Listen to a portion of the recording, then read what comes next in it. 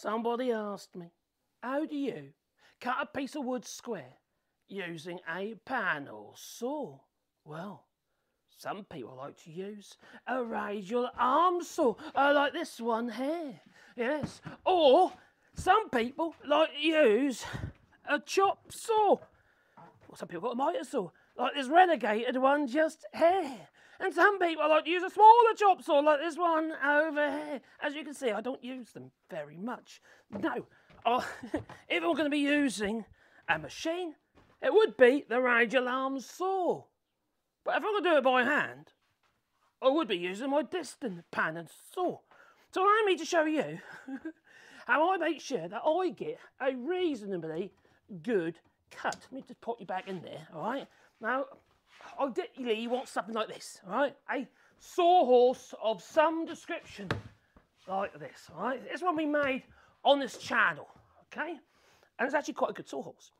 Now the thing is, you see, lots of sawhorses are really narrow in the top, whereas this one is around, well, about seven inches wide. It's a piece of old deal on the top. Now, the thing is, that is square, perfectly square, okay? So if I grab a square, which happens to be over there,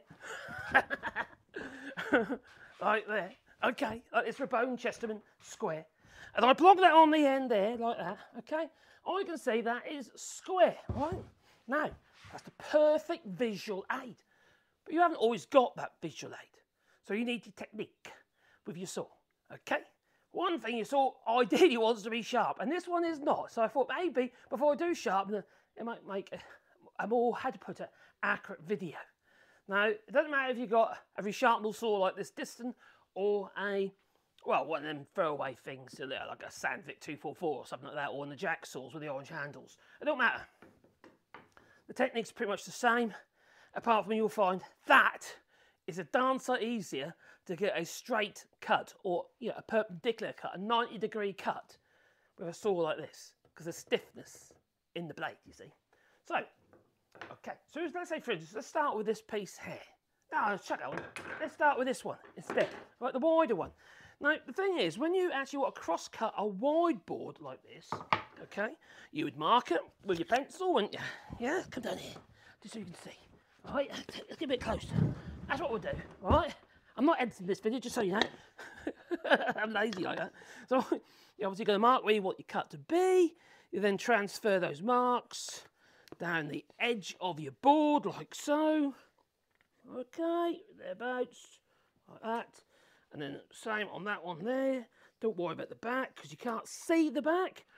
And that, that'd be your visual guide of where you're going to be cutting with your panel saw. Now there are other types of guides out there which I have shown on this channel, little blocks of wood with magnets and all that sort of stuff, which definitely, definitely help. I was surprised, I really was. But let's say for instance, right, we're going to be cutting a, a narrower piece of wood, like this one, you see. Now, I'll explain why I'm, I'm doing this in a second, you'll just give you an idea. But first of all, let's just mark it. Right? I want to cut, say, for instance, that off there. It's, it's random, I know it's random. So, and then I'm going to transfer those marks, just a bit of older pallet wood is all it is. Whatever I can find kicking about. And I'll transfer that mark over here as well both edges again, look just like I did the other board. Okay, now if you are experienced with a panel saw, a lot of the time you ain't got to worry. Once you get the hang of it, you just you just go for it, and nine times out of ten you're going to get it right. In fact, I can cut a 45 just by the, the reflection in a panel saw. There's a video on there how to do that on this channel. So let's go back. over. Let me show my, my point, uh, my uh, little technique if I was going to be, uh, argument's sake, I'm going to cut this wide board. Now, a wide board is easier to cut than a narrow board, okay? You say, why is that? You've got to cut longer. Well, there is that too. But you've got this visual aid with the line. You can eye up your saw with that line. So you've got much more uh, distance to make sure that you are on track. You can eye that up. Whereas a short, a narrower board, you don't have that um, privilege. No. Now, if it's a small board like this, you, you, need to, to clamp it down. Now, I line this up with my saw, sawhorse here. Saw, Okay, like that. And then I'll just clamp that down like so, making sure the clamp doesn't interfere with where I'm going to be cutting. I don't want to take the edge off my saw, you see. Now, the thing is, you have a cut side and you have the cut line itself. Well, you need to make sure you're cutting on the right side of the line so you don't end up causing yourself any grief. So just mark the side you want to cut on, like so. And then what I do is I use the back of the saw here, okay? And I bring it up, because it's usually quite sharp, the back of the saw, because you don't use it as much as the rest of the saw. That portion of the saw is generally more worn than the tip and the heel. Than the toe and the heel? Yeah, toe and the heel. So, so I'll bring it back a few strokes, say three strokes, to get that start, like mm. so. And I'll be eyeing it up downwards with my line, that in that direction, okay? And then I'll make a few downward strokes. At that point, you don't really need your finger anywhere near it because at the start I was using it as you saw as as you saw as a guide right you don't want to carry on doing that no because especially if you um especially if you're cutting something like Douglas fir there's a possibility especially at the beginning the the saw's got to jump out of the slot and slice your finger been there, done that, and it hurts. So don't do it. So move your hand out of the way, okay? Holding it down like so, or putting your knee on it, or whatever. If your board is longer, this is a short board, so there's no point. All I want to do is put my weight on the actual sawing stool. I've got my second set of hands in, in the form of a clamp. So as I bring it forwards, I'll then start striking down, iron that saw up, plumb with that line, and then making my cut. But as I make my cut, I'm actually bringing the saw back and I'm it up my line where I want the saw to be. And yes, it is blunt. Bringing my stroke backwards and forwards or up and down. As long as I can manage. In other words, nice long stroke, using as much of the saw as possible. It is not a race. Just allow the saw to do its job. And, and as I'm bringing it down, I'm still eyeing up with this back line. Not constantly, but I'm regularly checking it. It's like when you're driving a car, and you're coming, you know, you're doing your driving lessons, and you're coming up to a junction, you've got to check your mirrors. Do, do, do, you uh, know, you know how it goes.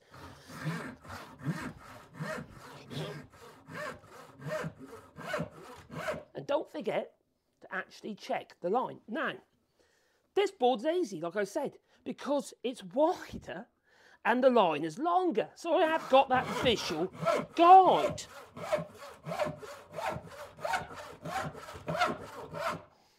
Now, don't forget when you get towards the end of your cut to, well, slow down, okay? But also check your plumb, making sure you are lining up with your line at the back of your cut as well.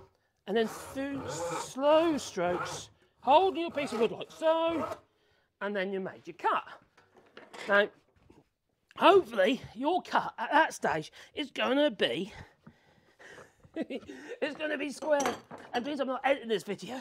I'm not going to be like, well, I was watching uh, YouTube, but I've got his name, that's Saw Winery or Saw Winery. Oh, yeah, he's older guy, he's got 50 years experience. I, I, I, so many times I've seen him make these videos, right? And it's clearly all old skew if and that. And he's kind of like being very careful how he positions his piece of wood, you can't even see if it's square, you know? And the other day he did one where he's passed it through a plane had a flattened um, a board with a twist in it. it I, am sure that's more twisted when he finished when he started. Well, not quite, but it was a little bit better. But it was a, uh, yeah, it, was quite funny to watch. It was like, almost like you're trying to make out that was perfect. That wasn't. It was way off. Anyway, as you can see, that is yeah, that's not bad. Pretty, it's pretty much square. There's a little curve in it, but you see, what you do is, when you're working with things like hand tools, I'd then use a shooting board with a hand plane. I'd put that on my shooting board, use a hand plane to, to it up. And then you have a beautiful, smooth finish. You can glue it, you can joint it, you can do whatever you want with it, right? So that's how I do it if I'm doing a wider board. But where it gets more complicated and harder is when your board is narrow. That is where this saw, sawing horse, or sawhorse, or stool stools, anyway, what this thing I'm sitting on is really important in that it has a wide top. That is my visual guide. So I'll do exactly the same. I'll place my piece of wood line with this edge, like so. And then grab my clamp and clamp it down because it's an extra pair of hands. Now, if for instance you uh, cut a piece of wood uh, that's longer, you just put your knee on it if you want, if that's, if that's your thing. But I'm using a clamp. Yeah, and i have moved it. you want that in line with that edge, right? If it's in line with that edge, okay, your cut will be perpendicular, it'll be square. Yeah, there you go. So, okay, I've got my line there, got my line down here, and I basically start my cut exactly the same way as before, but do you know what I didn't do on my fir the first uh, demonstration? I didn't ugh, lube my tool. Always lube your tool. Ask the missus, she knows. So lube your tool like so. oh dear. and um, just wax it basically. Uh, just, just ordinary paraffin wax works. You can use beeswax if you like, you know, whatever you like. You can get tool wax. There's all sorts of waxes you can use. But, you know, just ordinary uh, paraffin wax works a treat. But don't forget, if you're going to be that cut line, uh, if you are going to be gluing it, well then make sure you clean off the wax for obvious reasons. It's like a release agent, you know. So with this particular piece of wood, it's easier. Now it's about oh, it's about a third narrower than than this piece. Okay. We'll do exactly the same thing again regarding starting it. I'll put my knee on the actual sawhorse itself so it doesn't move. Use my thumb as a guide, making sure I'm on the right side of the line. Mark it if it makes you happier so you don't end up making a boob. Alright, remember you can remove more material, but it's a lot harder to stick it back on again. So let's bring the saw back through cuts on that corner, on the arrows, yeah? Let's do that, three times, especially if you're not used to a panel saw, if you're just learning. Alright, so I've made that start on my cut.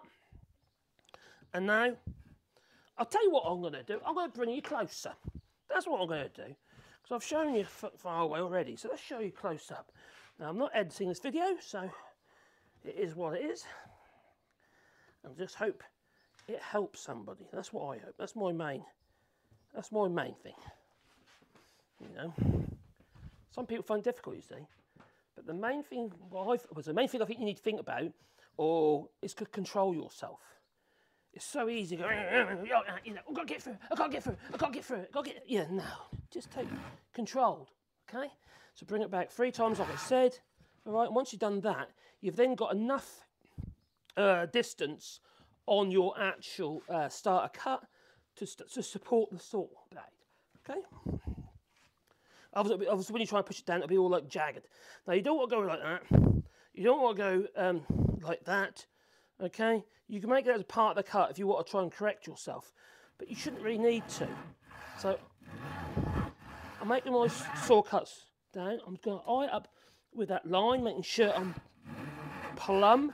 And then I'll bring the saw blade back as far as I can without it coming out of the uh, of the slot. Sometimes it'll be that far, sometimes it'll be that far, you know. Don't worry about it, but you do want to try and use as much of the saw as you possibly can.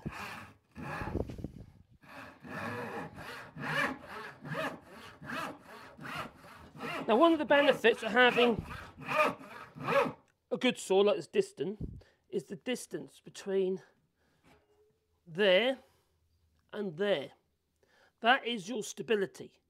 Now when you see a lot of those cheap throwaway type saws, they're very narrow. The blade only comes up to about there. And unfortunately it provides you very little stability and there's very little rigid in the actual blade itself.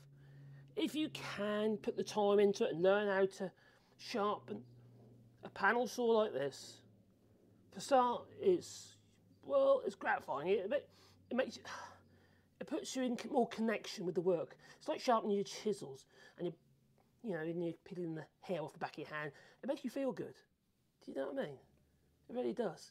When you just buy something off the shelf and it's like, you know, mediocre, uh, it's not a good tool to use, right? And the thing is, you see, once you buy a tool like this one, you in your lifetime you might get through two of them if you're on the tools. Right? You might get through a couple of them. But these things last forever. If you look after them, they, you know, look at that one. I've had this one donkey's years. Still got loads of meat in it. You know, because even though they're re uh, resharpened and the teeth aren't as hard, so the, so the edge won't last as long, it still lasts a very long time.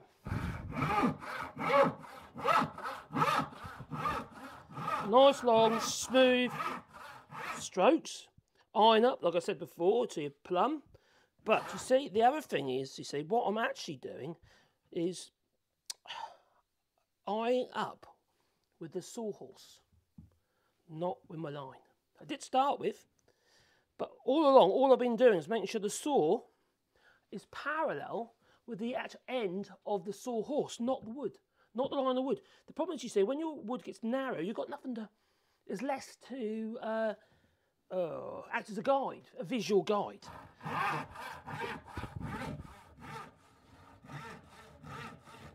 Slow down, slightly same as before. And then hopefully, I've got to get ready down low now, uh, hopefully, it is square. So what I was using was a square on the end here, and this is about seven inches, six to seven inches, yeah, six to seven inches wide, which is obviously wider than that. And that is my visual guide with the panel saw. Now it's really handy, you see, because when you get the hang of it, you won't be putting lines across your piece of wood. You just put a mark. That's where I want to cut. You won't be putting lines down the edges of your board, you see.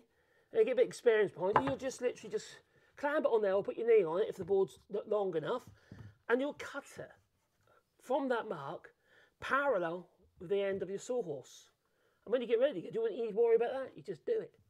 It's people say, "Oh, I'm never going to be able to do that." You know, you will.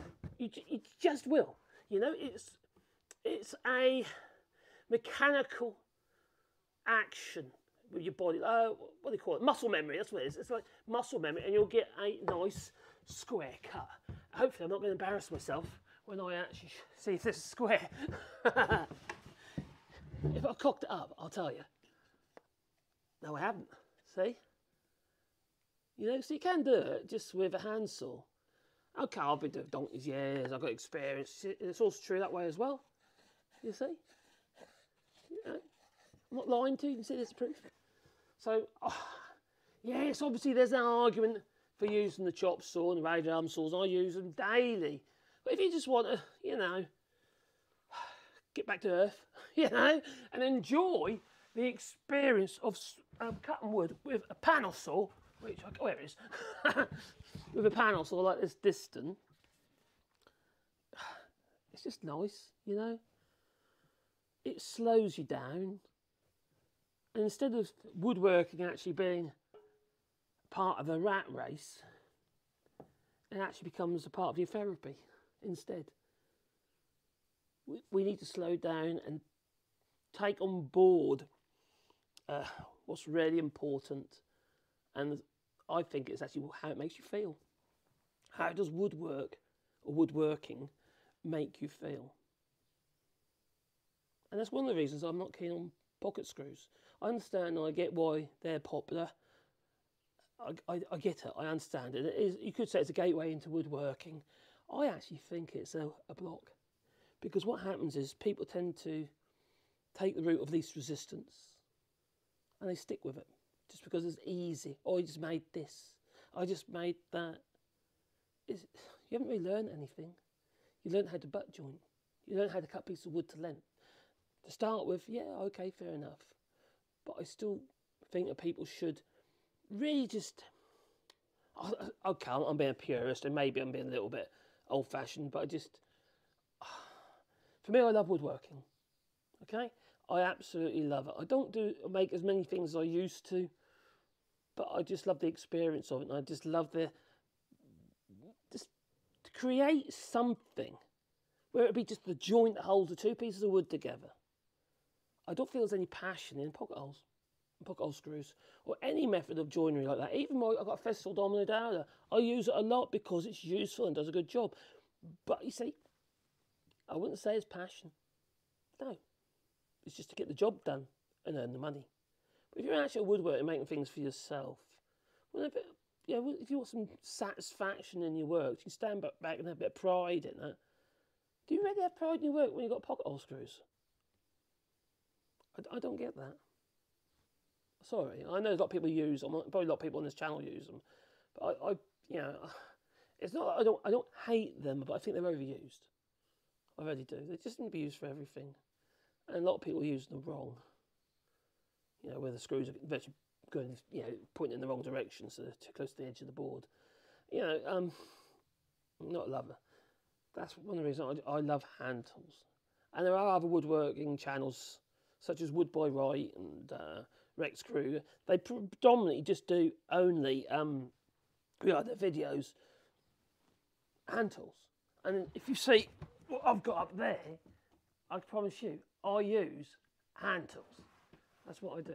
So, you know, if you can't get hold of a decent panel saw, all right, which you can, because Spear and Jackson still make reasonably priced versions of these, and actually good bit of steel on them, and nothing, wrong with them really. You might want to tweak the hand, the toe, and what have you to, to suit you, but um, apart from that, they're a good tool, you know, and uh, definitely worth worth a shot. It's not difficult, you know. If not, you know, find yourself an old one, because you'll find a car boot or something like that, or maybe a grandparent might have been sticking in a shed.